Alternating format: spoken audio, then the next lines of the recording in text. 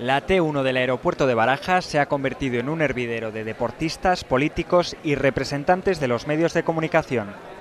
Unas 180 personas embarcaron este jueves rumbo a Buenos Aires a dos días de conocer si Madrid será olímpica en el año 2020.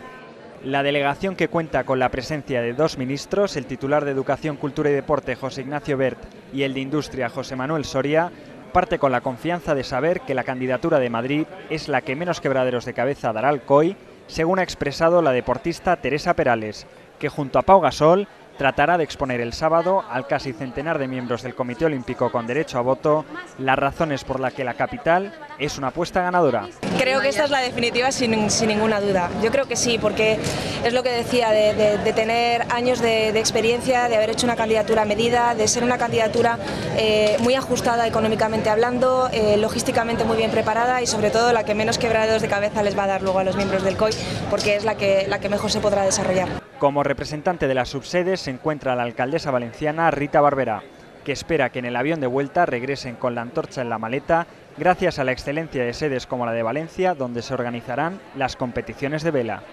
Son tres veces las que Valencia se ha unido a Madrid para presentar y formar parte de la candidatura.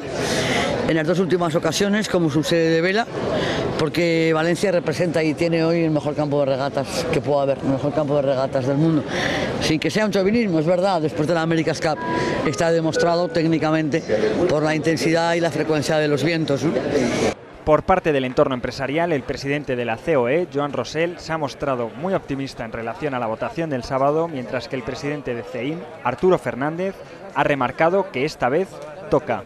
Creo que primero Madrid viene haciendo los deberes desde hace muchísimo tiempo, los tiene muy hechos. Las veces pasadas pues eh, no, salió pues, pues porque a veces el destino pues no hace lo que debe. Yo creo que a, Madrid el esfuerzo olímpico le debía, le debía una y esta vez yo creo que, eh, que se va a consolidar.